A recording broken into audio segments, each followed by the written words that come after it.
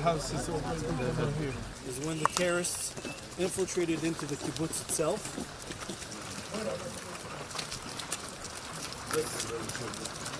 This is the house of On his way back, you notice several terrorists that were right over here. It's, uh, it's a symbol in the kibbutz. You have kids inside, the mothers and the fathers run around with it. But it's holding shells specifically of a Negev that was used here in order to protect the people.